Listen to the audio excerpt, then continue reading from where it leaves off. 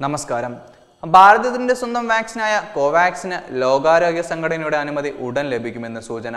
കോവാക്സിന്റെ മൂന്നാം ഘട്ട പരീക്ഷണങ്ങളുടെ ഫലത്തിൽ പൂർണ തൃപ്തി ലോകാരോഗ്യ സംഘടനയിലെ വിദഗ്ധർ രേഖപ്പെടുത്തിയെന്നാണ് പുറത്തുവരുന്ന റിപ്പോർട്ടുകൾ. ഇതോടെ ദരിദ്ര രാഷ്ട്രങ്ങളടക്കം കോവിഡ് പ്രതിരോധത്തിൽ ഇന്ത്യയ്ക്ക് നായകസ്ഥാനം വഹിക്കാനുള്ള അവസരമാണ് കൈവരുന്നത്. ഹൈദരാബാദ് ആസ്ഥാനമുള്ള ഭാരത് ബയോടെക് ആണ് കോവാക്സിൻ നിർമ്മിക്കുന്നത്. കോവിഡിന്റെ പുതിയ വകഭേദങ്ങൾക്കെതിരെയും ഫലപ്രദമായി പ്രതിരോധിക്കാൻ ഈ വാക്സിൻ സാധിക്കുമെന്നാണ് പഠനങ്ങൾ തെളിയിക്കുന്നത്. ഈ പരീക്ഷണങ്ങളിൽ ഉയർന്ന ഫലപ്രാപ്തിയാണ് കണ്ടെത്തിയത്. ഓഗസ്റ്റ് മാസത്തോടെ ലോകാരോഗ്യ സംഘടനയുടെ അന്തിമ അനുമതി ലഭിക്കുമെന്നാണ് കണക്കാക്കപ്പെടുന്നത്. അടിയന്തര ഉപയോഗ അനുമതിയാണ് ഈ ഘട്ടത്തിൽ ലഭിക്കുക. കഴിഞ്ഞ ആഴ്ചയാണ് Bharat Biotech Covaxin phase three clinical പരീക്ഷണങ്ങളുടെ വിവരങ്ങൾ പുറത്തുവിട്ടത്. കോവിഡിനെതിരെ എഴുപത്തേഴ് ദശാംശം എട്ട് ശതമാനം വരെ വാക്സിൻ ഫലപ്രദമാണെന്ന് തെളിഞ്ഞിട്ടുണ്ട്. രാജ്യത്ത് രണ്ടാം കോവിഡ് തരംഗത്തിന് കാരണമായ ഡെൽറ്റ വേരിയന്റിനെതിരെ കോവാക്സിൻ അറുപത്തിമൂന്ന് ദശാംശം ആറ് ശതമാനം ഫലപ്രാപ്തി തെളിയിച്ചിട്ടുണ്ട്. സമ്പന്ന രാഷ്ട്രങ്ങളെ വികസിപ്പിച്ച വാക്സിനുകൾ ഡെൽറ്റയെ നേരിടുന്നതിൽ പരാജയപ്പെടുമ്പോഴാണ് കോവാക്സിൻ മുന്നിട്ട് നിൽക്കുന്നത്. ആഗോളതലത്തിൽ Brazil India Philippines Iran Mexico എന്നിവയുൾപ്പെടെ പതിനാറ് രാജ്യങ്ങളിൽ കോവാക്സിന് ഇതിനകം അടിയന്തര ഉപയോഗ അംഗീകാരം ലഭിച്ചിട്ടുണ്ട്. കോവാക്സിന് ലോകാരോഗ്യ സംഘടനയുടെ അനുമതി ലഭിക്കുന്നതോടെ കൂടുതൽ രാജ്യങ്ങളിൽ ഈ വാക്സിൻ കയറ്റുമതി ചെയ്യാനാകും.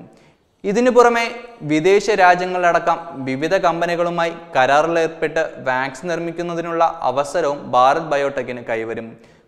കോവിഡ് പ്രതിരോധത്തിനുള്ള മാർഗങ്ങൾ കുത്തിയാകി വയ്ക്കാതെ എല്ലാവർക്കും ലഭ്യമാക്കുക എന്ന വിശാല നയമാണ് ഇന്ത്യ കൈക്കൊണ്ടിട്ടുള്ളത്.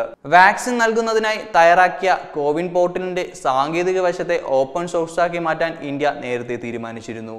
അതേസമയം രാജ്യത്ത് പന്ത്രണ്ടിനും പതിനെട്ടിനും ഇടയിൽ പ്രായമുള്ള കുട്ടികൾക്ക് സെപ്റ്റംബർ മുതൽ വാക്സിൻ നൽകി തുടങ്ങും. ഇത് സംബന്ധിച്ച അനുമതി ആഴ്ചകൾക്കുള്ളിൽ ലഭിക്കുമെന്നാണ് വിവരം. Web desk Tatwamayi news.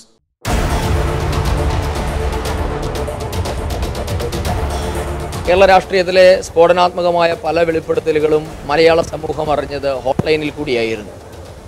ആ ഹോട്ട്ലൈൻ വീണ്ടും തത്മയി ടി വിയുടെ പ്ലാറ്റ്ഫോമിൽ കൂടി മടങ്ങിയെത്തുന്നു എന്നുള്ളത് ഒരു പൊതുപ്രവർത്തകൻ എന്ന നിലയിൽ എനിക്ക് ഏറെ സന്തോഷം ഉളവാക്കുന്ന കാര്യമാണ്. ഹോട്ട്ലൈനിന്റെ അവതാരകനായ ബഹുമാനപ്പെട്ട ശ്രീ രാജേഷ് പിള്ളയ്ക്കും ഹോട്ട്ലൈനും തത്വമൈ ടി വിക്കും എല്ലാവിധ ആശംസകളും നേരുകയാണ്. ഹോട്ട്ലൈൻ വീണ്ടും കേരളത്തിന്റെ കേരള രാഷ്ട്രീയത്തിന്റെ കേരള സമൂഹത്തിന്റെ ഹോട്ട്ലൈനായി മാറട്ടെ. കേരള രാഷ്ട്രീയത്തിൽ സ്ഫോടനാത്മകമായ വെളിപ്പെടുത്തലുകളും മുന്നറിയിപ്പുകളും ഒക്കെ നൽകിക്കൊണ്ട് ഹോട്ട്ലൈൻ സജീവമായി നിലനിൽക്കട്ടെ എന്ന്